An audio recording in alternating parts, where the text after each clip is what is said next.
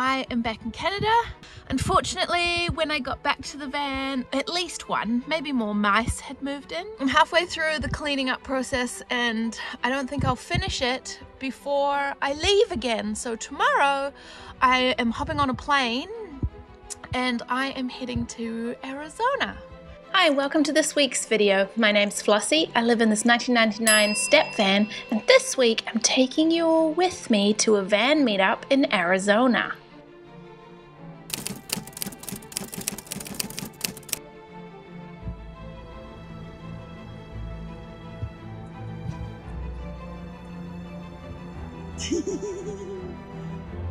That's the water. That's where we're going. That's, well, the snow.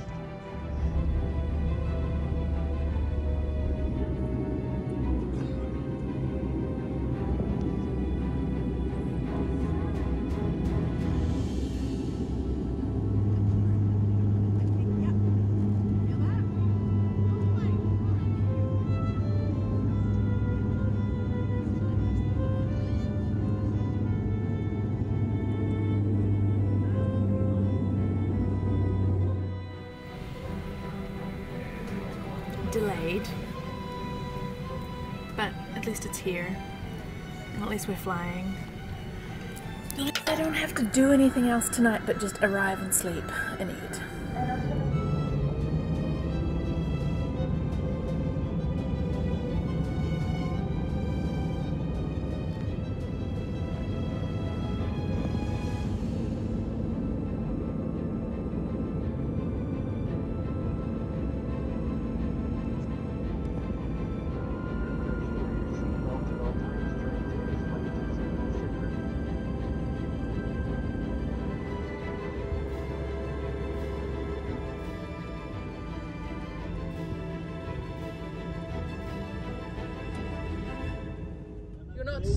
If there's a driverless car coming son. Uh, through. I'm not stupid. He goes, but you you could you couldn't get money. I said, I don't care about the money. I care about my my health. Your body, my yeah. body." Oh my gosh. Yeah. They're like giant robots. And, and I don't know why the the city of Phoenix let those cars operating because also before like I'm talking about five years ago, Yeah. there they ran over a lady in the bicycle. Oh. And that, that lady got killed. By Seriously? One of those cars in Tempe. No. Yeah, I think I'll just keep taking taxis with actual real You- people. you'll be more safe. Yeah, keep real people employed. Me, me too. Me, I, I had such a wild ride getting here. So I left home, um, caught a plane from Nanaimo Airport to Vancouver Airport, and then when I was halfway there, I realized I had left my driver's license behind, and I was like, and it had been niggling on my mind. I'm like, oh, I should, because I'd just been traveling and my driver's license had been in my bag with my other stuff. It's like, oh, I should probably pull it out. Like, I might need that. And it just had never dawned on me that I'd also need it to pick up a, my vehicle here. And so I'm now on the plane, um, and my driver's license is back in my van. So There's the plane. The plane that's saving the day. Oh my god.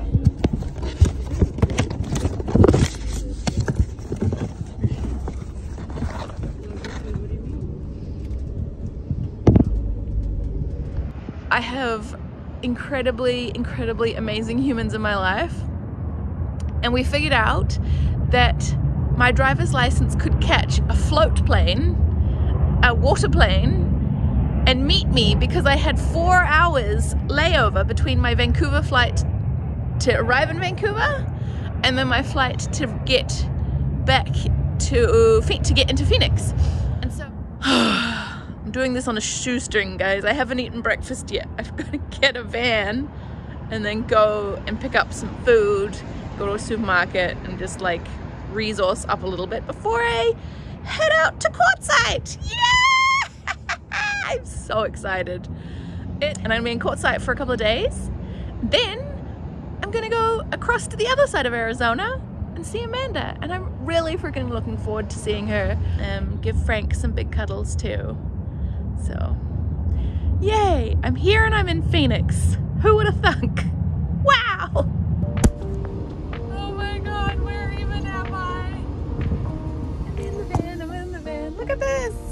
So good.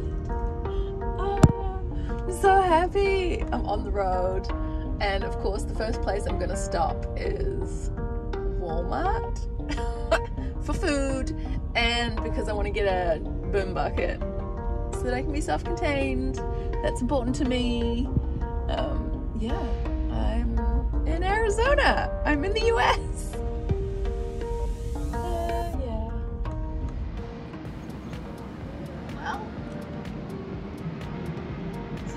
expected, but we are on the back roads.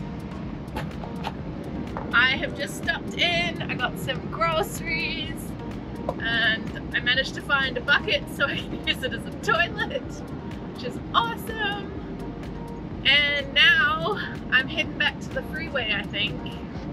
I hope. I'm heading back for the freeway so that I can get moving and actually cover some serious distance to get to where I need to go. I've got some GPS coordinates.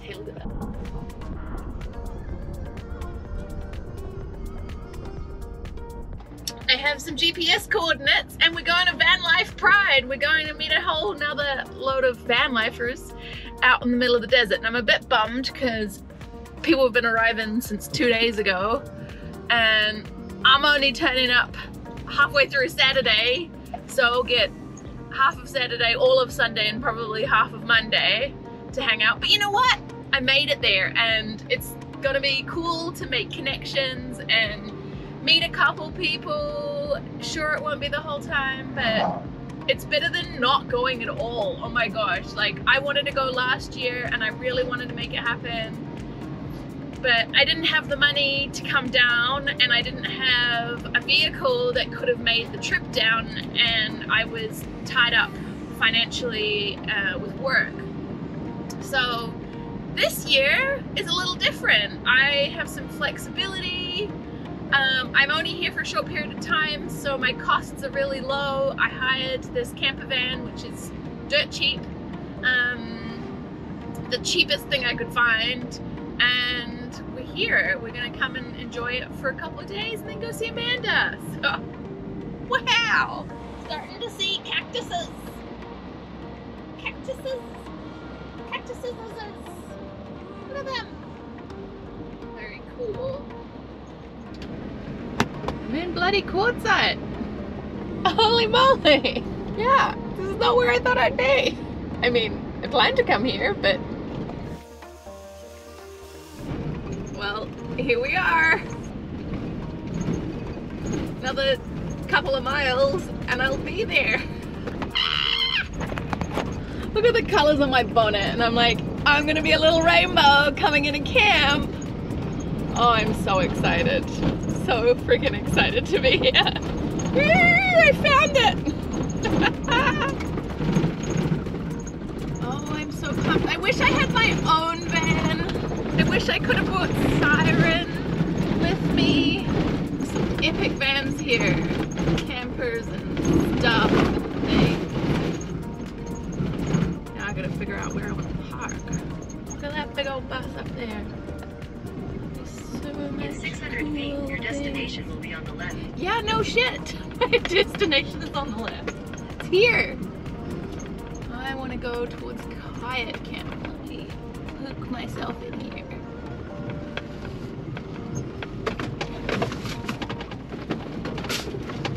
Yeah.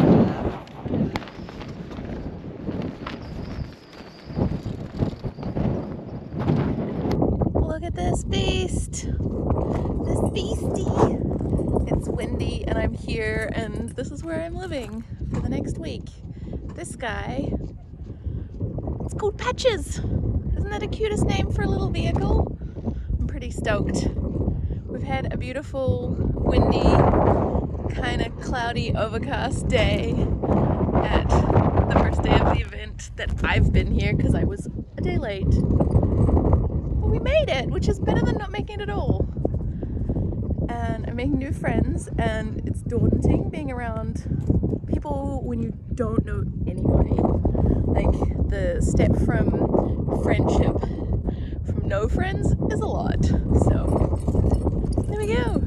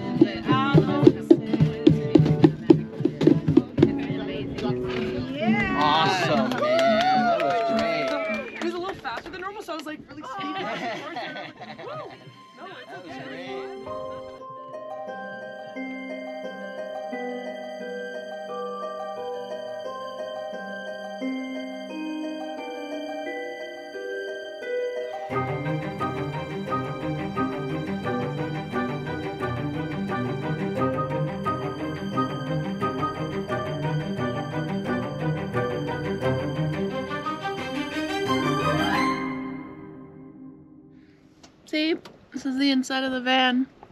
And I was really cold. Yeah. I had a bit of a shitty night's sleep because this van has this stupid blanket and it was very cold outside. But look at that. Pretty spectacular. And I was real cold inside. I'm gonna have to get another blanket. I wish I was in my own home, not a van I was borrowing. Would make life a lot easier. But then I wouldn't be here because I wouldn't have been able to make it. My van, I wouldn't have had enough time to drive it down right after coming back from the southern hemisphere. The days that I did spend back home, I spent cleaning up after mice. Because a couple mice moved in in my absence, which is not really that surprising, but it's really freaking annoying. Anyway, I can't believe I'm here. I'm tired.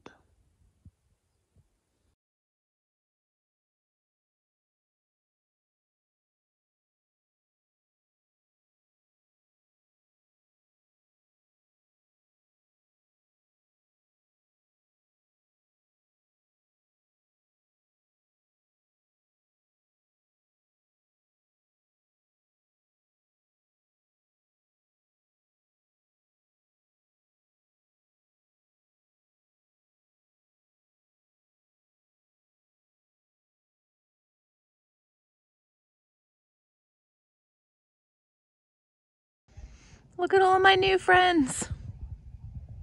Just been at potluck lunch and then some resource sharing chats for folks on the road. Just been really, really special to have support and talk about stuff. How often do you get to meet up with this many people and exchange information to support each other? I think you kind of have to be at groups like this where you have some sort of common interest to make that happen. And I feel very lucky to be here. Very lucky.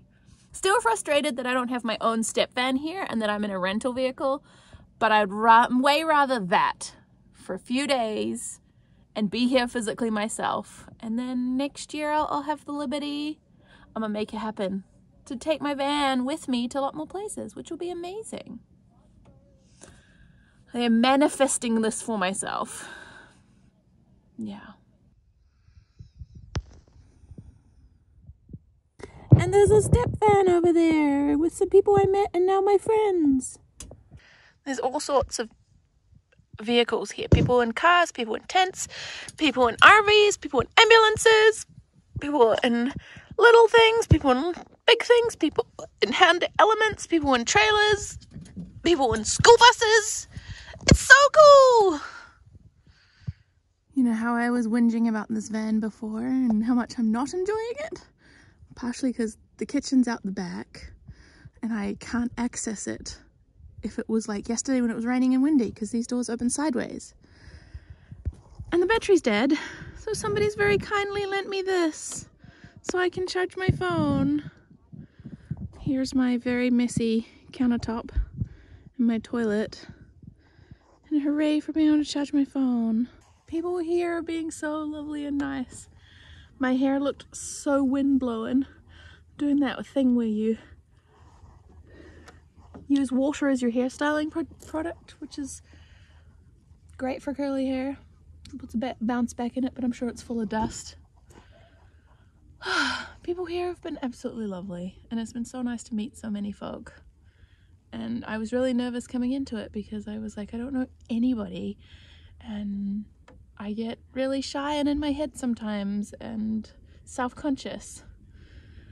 And I think I have used all my extrovert energy that I have for a whole year in like one, maybe two days. I'm gonna be so tired.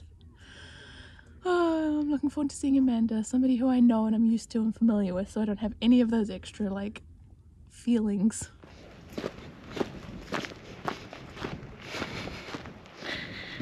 Taking a little break for my mental health deciding to go for a little walk amongst all of this beautiful scrub.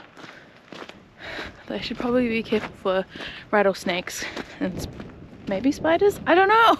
I feel like I've perked up a bit after my groggy, sleepy, grumpy morning.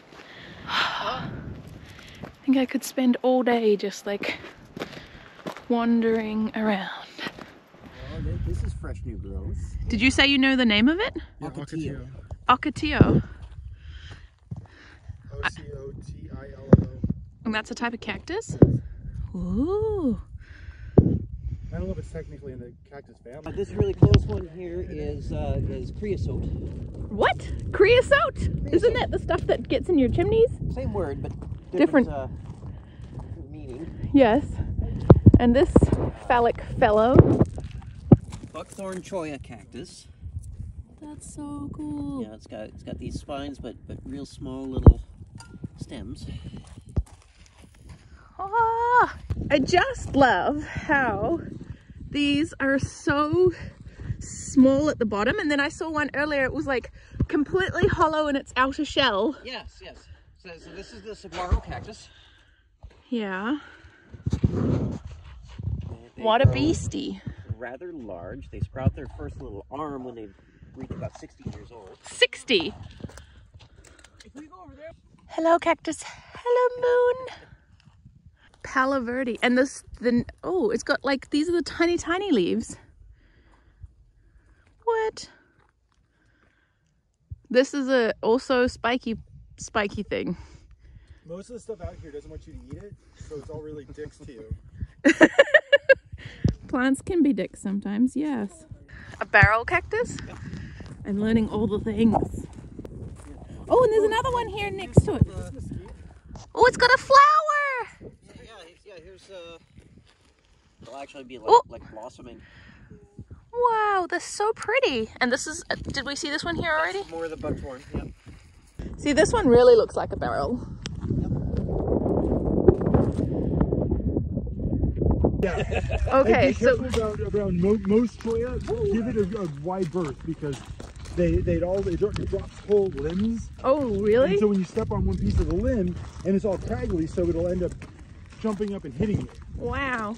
You say this is a prickly pear? This is a prickly pear. This is a very tiny prickly pear. uh, it is. It is. Uh, we might have some desert shape. turtles out here eating it. Turtles? Yeah. You serious? What? Tortoises. Yeah, You have- tortoises. Desert tortoises? Yep. Oh my god, you guys are blowing my mind right now.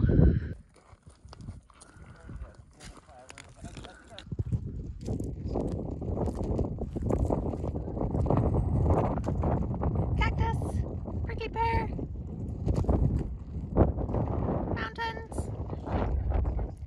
Jackrabbits? What?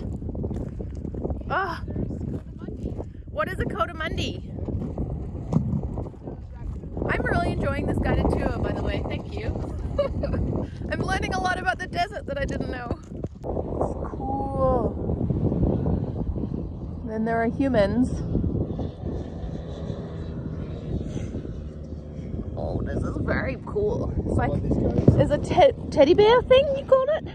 I believe this is a teddy bear cholla. Yeah. Oh, look, it's got a flower. Yep. Oh my gosh, I would. Lo- I've seen these a lot. I would have loved to get one across the border, but I really don't think that's a good idea. Feel it to yourself. so There's pretty. A one here. Those they're dry. They're not gonna put any plant matter into anywhere else. I don't even think this is an invasive. Wow, it feels like bone. It's like that. piece is amazing. Yeah. piece, Which piece? Oh, it's so beautiful. it's a lot more professional than I thought. Somebody potentially maintains it quite regularly then.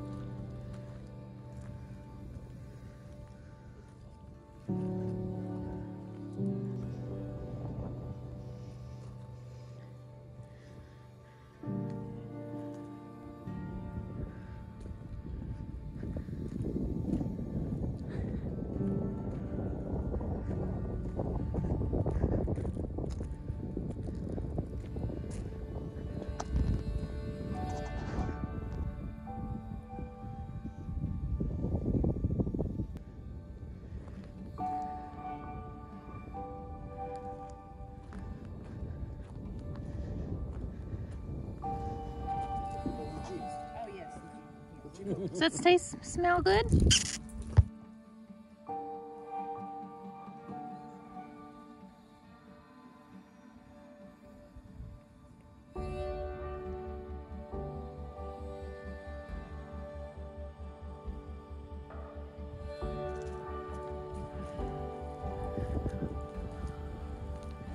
We're trying to step dance sunset.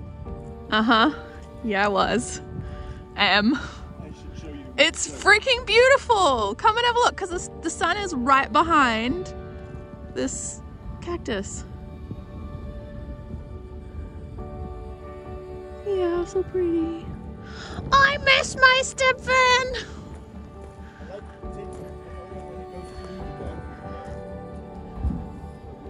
Yeah.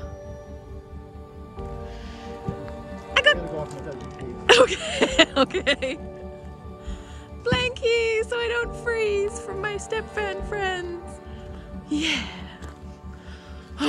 it's gonna be so much nicer. Last night I was so darn cold. I don't even know if I slept. it is very beautiful out here now. Very, very beautiful. And getting a little cold. Look at those patches. Hey, patches. It's gorgeous. It's my little home in the desert. And it's about to get real cold.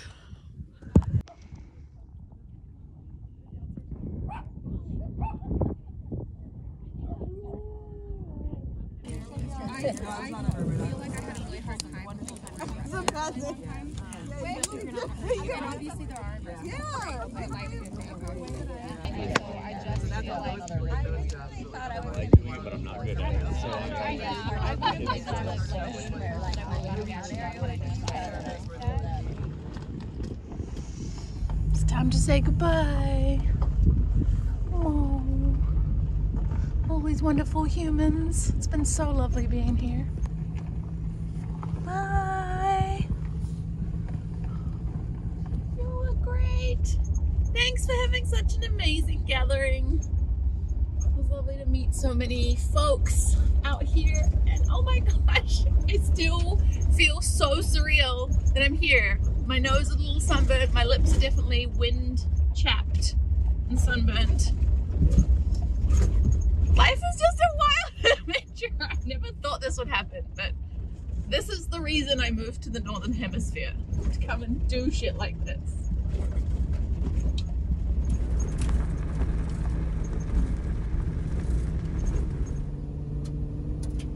Ooh, tarmac! And the longest and straightest of straight roads. I'm sure it's not the longest or the straightest, but